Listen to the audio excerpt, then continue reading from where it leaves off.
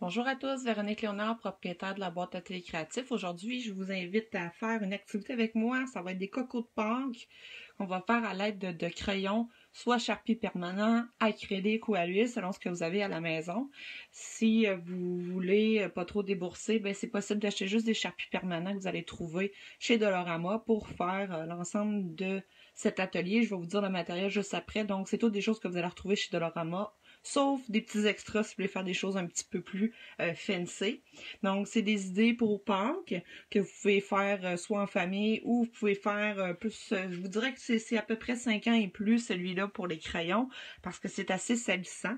Et deuxième chose que je ne veux pas oublier de vous dire, c'est de prévoir protéger votre table avec soit un papier de poubelle, que vous pourriez découper ou un plastique ou quoi que ce soit pour éviter les dégâts parce que c'est plus difficile à enlever si jamais il y en a sur la table. Donc, si c'est pas déjà fait, ben, je vous invite à vous abonner à notre chaîne YouTube de la boîte atelier créatif et d'actionner la petite cloche pour avoir toutes les notifications des nouvelles vidéos qu'on va mettre en ligne avec des idées de création. Donc, on touche à plein de médiums et de techniques artistiques. C'est pour vous initier aux arts. Et en ligne sur l'onglet vidéo, vous avez déjà beaucoup de vidéos avec des idées tutoriels que vous pouvez faire à la maison. Donc euh, voilà, c'est pas déjà fait. On est sur Facebook, Instagram, etc. sur pas mal tous les réseaux sociaux. Voici ma petite intro. Donc euh, je poursuis en vous euh, en vous disant le matériel que vous allez avoir de besoin pour faire ça. Si vous voulez faire de quoi d'un petit peu plus facile, j'ai une autre vidéo qui est justement avec des cure-oreilles pour faire avec de la peinture acrylique qu'on trouve chez Dolorama. Donc c'est la vidéo avec l'idée numéro 1. Il va y avoir 5 idées au total, donc je vais faire une vidéo par idée. Donc les autres idées, je vais vous les mentionner plus tard. Si vous voulez voir, euh, dans le fond, les vidéos euh, concernées, choisir euh, celui que vous voulez faire. Ou peut-être vous garder des petits œufs de Pâques pour faire l'ensemble des 5 idées. Là, ça peut être le fun aussi. Donc on y va, on y va. On va faire des cocos de Pâques avec des crayons Sharpie ou des crayons acryliques ou à l'huile. Les crayons acryliques et à l'huile, c'est important de savoir qu'on les trouve pas euh, chez, chez Dolorama. En tout cas, du moins, euh, moi, j'en ai pas vu dans mon coin. Si jamais vous en trouvez, tant mieux. Vous me le marquerez en commentaire, puis euh, dans quelle région vous êtes. Fait que je vais pouvoir indiquer aux gens où en trouver.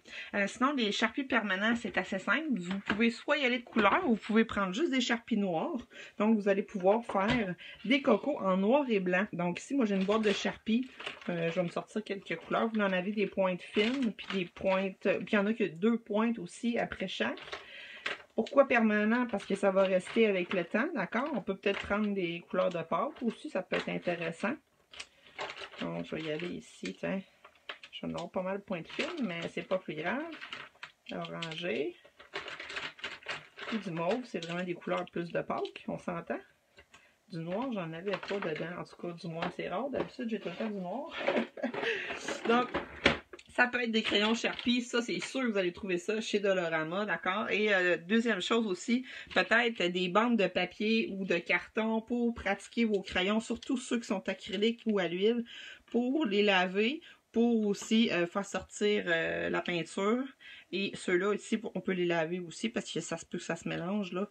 Donc le papier permet de vraiment enlever le mélange de dents qui aurait été fait.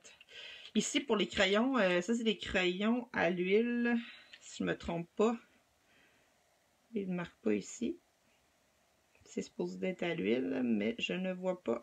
Euh, C'est-tu marqué ici? Du moins, des fois, c'est difficile à savoir, mais je suis pas mal sûre c'est les crayons à l'huile, ceux-là. C'est la marque Craftsmart qu'on retrouve chez Makers, qui sont des crayons quand même euh, abordables, bon marché.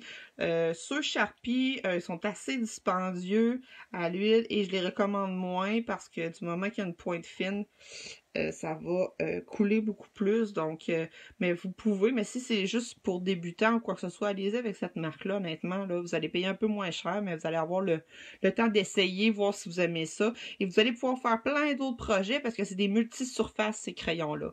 Mais c'est important de savoir que vous les trouverez pas chez Dolorama, évidemment. Vous en avez des plus grosses pointes ici, des plus gros crayons. C'est sûr, pour faire des détails comme ça, ici, ces crayons-là sont quand même bien, mais il en existe des pointes plus fines. Donc, voilà. je vais vous expliquer ce principe-là ensuite, euh, comment ça fonctionne. C'est un petit peu plus compliqué que sur les charpies permanents. Et vous allez avoir besoin, c'est ça, des petits cocos que vous allez trouver chez Dolorama, OK? C'est un paquet de 12.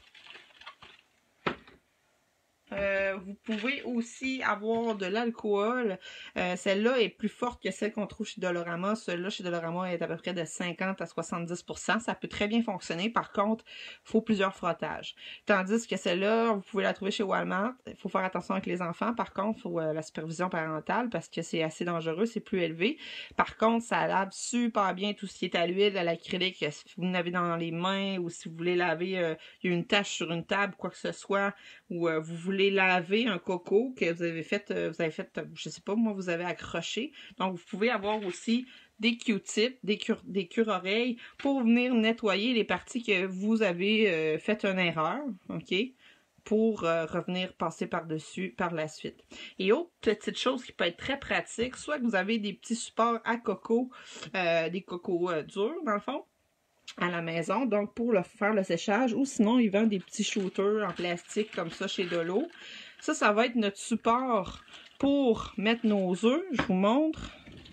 Parce que sinon, ça roule, ça roule tout le temps, donc c'est pas super pratique. Puis si on veut que ça sèche, puis qu'il n'y en ait pas partout.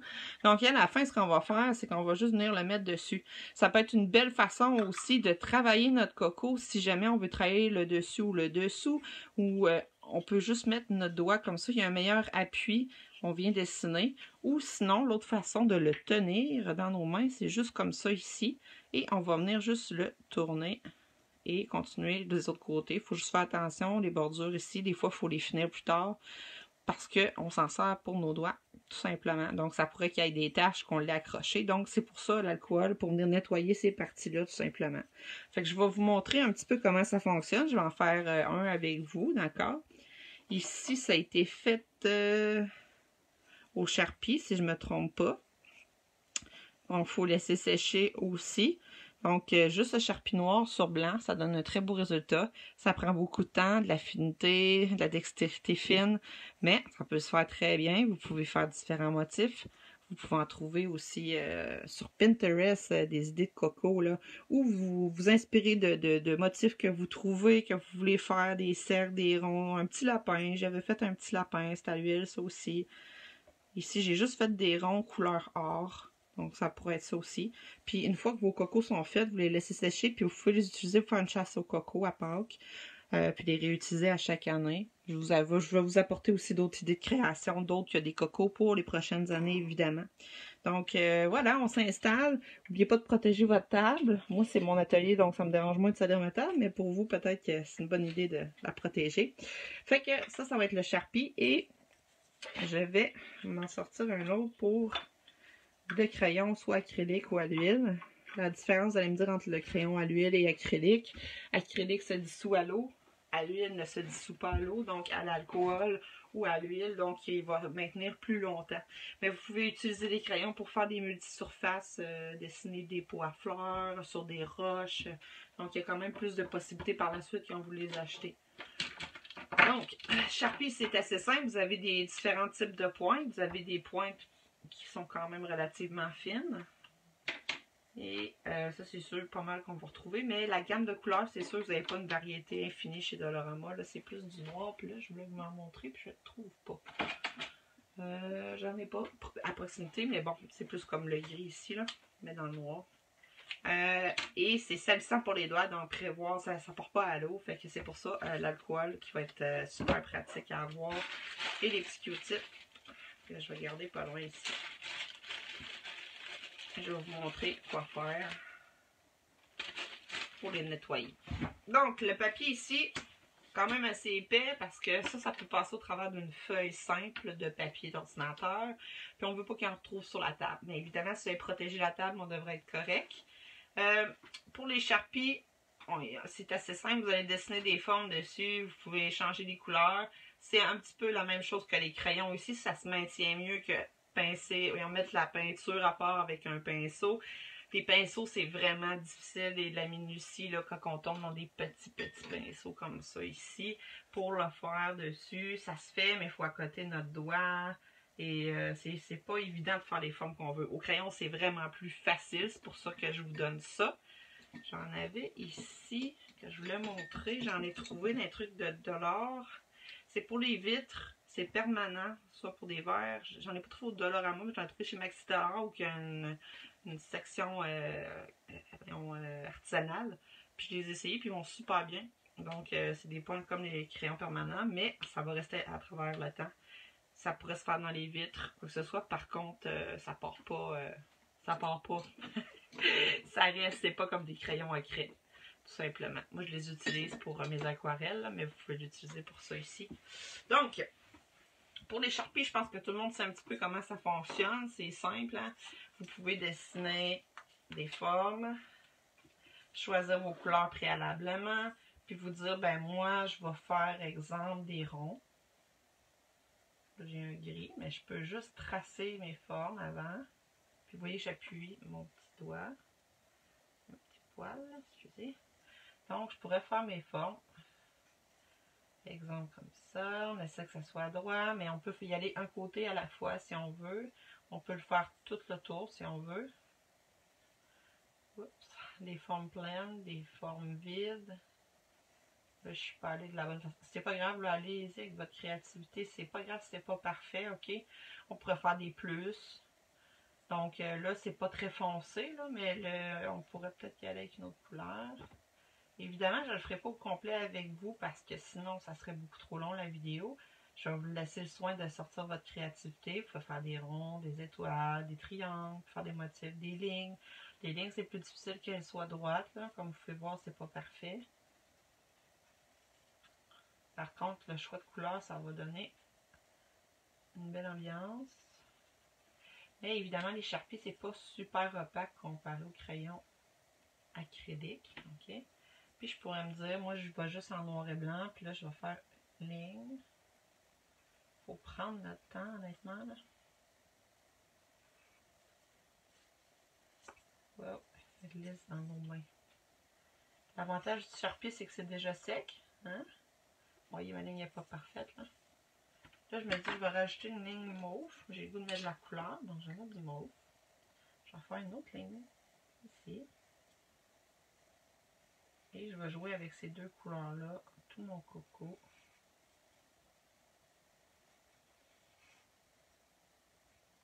Je vais refaire une ligne grise.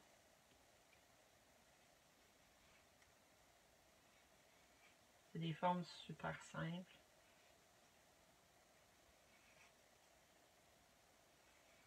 Et je pourrais faire des ronds, mais je vais faire des ronds Je peux faire autre chose, complètement. Aucun problème.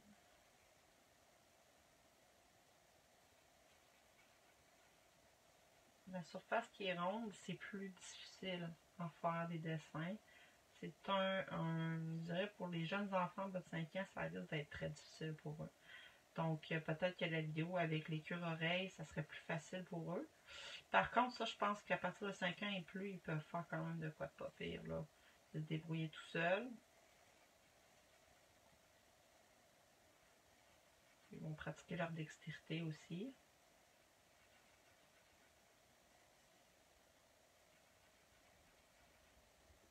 Vous voyez, un œuf, ça peut prendre quand même pas mal de temps. Il ne faut pas penser que ça prend deux minutes. Prenez votre temps, il n'y a pas de stress.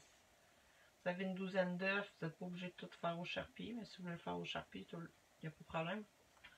Fait vous voyez un petit peu euh, l'ensemble. Je pourrais décider d'aller faire des vagues en haut pour répéter ma couleur et peaufiner euh, avec mes crayons. Fait que juste avec des charpies, on est quand même capable de faire de quoi d'intéressant.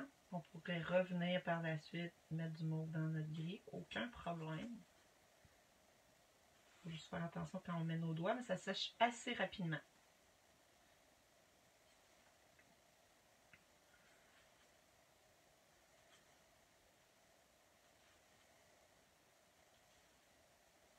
Voilà, donc je pourrais quand même revenir. Puis là, vous pouvez élaborer, là, vous pouvez aller des plus petits détails si vous voulez. Vous pouvez laisser tel quel, il n'y a aucun problème. On pourrait décider de venir faire des fleurs autour de chaque. Là, vous voyez, pas sec à 100%. Fait que mon gris vient se mélanger avec mon mauve. Fait que soit qu'on vient frotter notre crayon pour le nettoyer, pour qu'on retombe dans notre gris.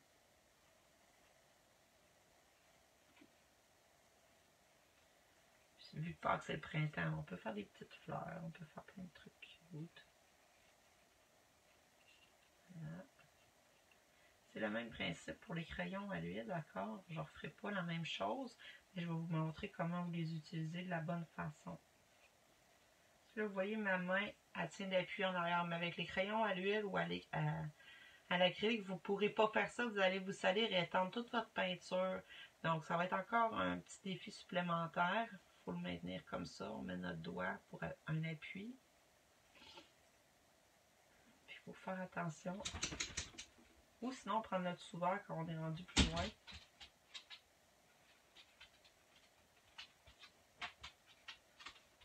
Un œuf, ça peut vous prendre un bon 20 minutes, selon ce que vous faites dessus, là. Si vous faites bien des détails ou non.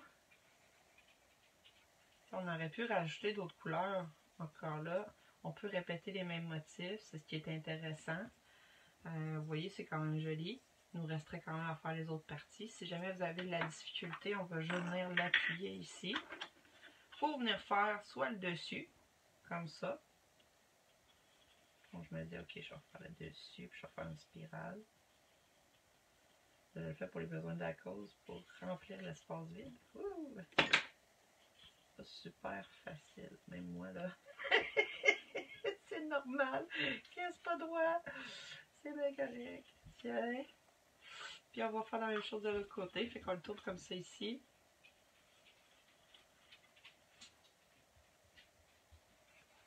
C'est que ça accroche, euh, il y a comme une sousure là. Fait que ça accroche un petit peu les côtés. Faut faire attention. Ici là, ça va moins bien. Voilà. Il nous restera à rajouter des couleurs. Ce que je vais faire, c'est que je vais le faire avec le crayon euh, acrylique euh, sur le même coco, je crois pourrais, ben dans le fond, lui, c'est vraiment juste de l'acrylique, Qu'est-ce que je pourrais faire? Je pourrais le peaufiner, oui. Lui, c'est Sharpie ou à l'huile, je me rappelle plus, honnêtement. Mais vu sa brillance, je devrais dire que c'est pas mal à l'huile, Je suis pas mal certaine. Donc, si jamais euh, ça ici, on voudrait enlever, je vais faire le test avec vous, mais je crois pas que le Sharpie, vu que ça sèche tellement vite, je sais pas si je vais être capable de l'enlever. On va tremper notre embout dans l'alcool. Et on dirait, mettons, j'ai accroché, euh, mettons, ma ligne est pas belle. J'ai fait un petit point ici. On va venir frotter avec le crayon. Oh oui, c'est merveilleux. Tadam! Ça part. Fait si on n'aime pas où qui est placé notre cercle, on peut venir frotter avec notre, euh, notre Q-tip. C'est pas parfait, parce que ça étend, euh, l'alcool, ça étend l'encre. Par contre, on pourrait attendre que ça sèche et refaire le cercle plus droit. Vous voyez? Puis on jetterait ça et refermer le contenant. On va faire la même chose pour ce qui est euh, des crayons à l'acrylique ou à l'huile. Quand on en a sur nos doigts, même chose. Évidemment, ça va étendre. Il faut vraiment faire attention. Donc, je vais le mettre ici. Et là, je viendrai refaire mon cercle, par exemple. Attendez que ça soit sec, sinon ça ne marchera pas, évidemment. Donc, je vais remettre mon cercle plus au centre. Comme ça. là, vous voyez, c'est pas sec à 100%. Puis, je refais mon point. Ça paraît plus. C'est une façon de récupérer pour pas recommencer si on avait fait une petite erreur. Voilà pour les charpies. Et euh, je vais aller rajouter à l'huile sur le même, je crois. Vous pouvez ajouter d'autres couleurs, il n'y a aucun problème. À l'huile, je vais juste vous montrer comment ça procède. Je vais y aller avec le crayon doré.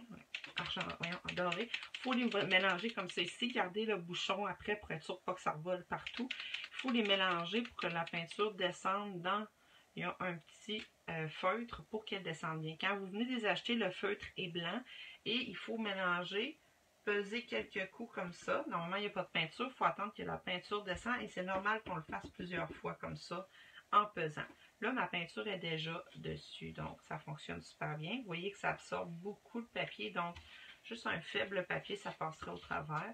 cette feuille-là vous permet de nettoyer votre crayon pinceau ou euh, de pratiquer vos formes avant de les faire, exemple, sur il y a comme une brillance, là, vous voyez. Fait que ceux-là sont à l'huile.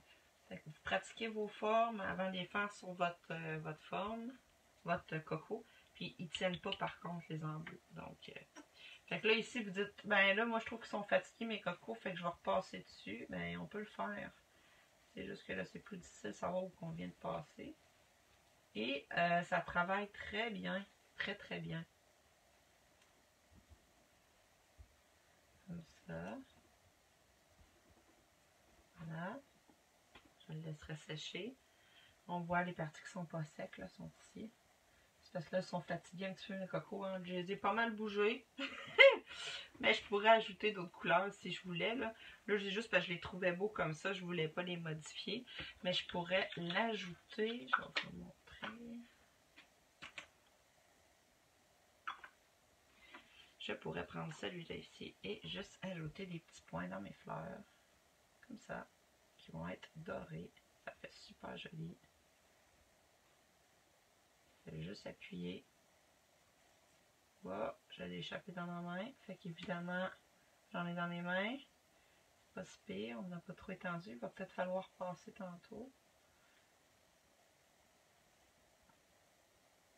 Comme ça.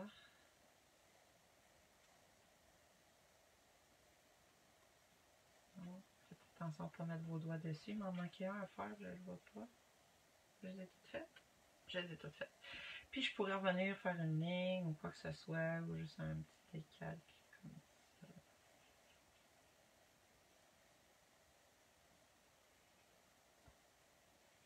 Vous voyez comment je travaille, je le tourne tout le temps un petit peu.